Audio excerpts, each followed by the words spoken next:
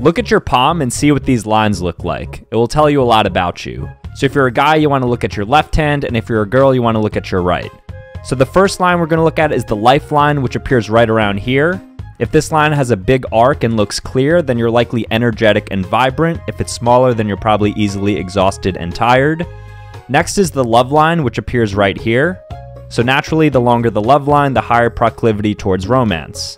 Next, we have the money line. So if this is clear and straight, then you're fated for good fortune. Some people may even have two, which means you're likely going to be really successful. Fourth is the headline, which reflects intelligence. You can find that right around there.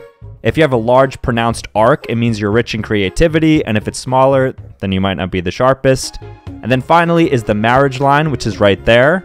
So if you have multiple lines, marriage might be difficult for you, but if you have one single line that stretches all the way to the ring finger, then you'll have a successful marriage.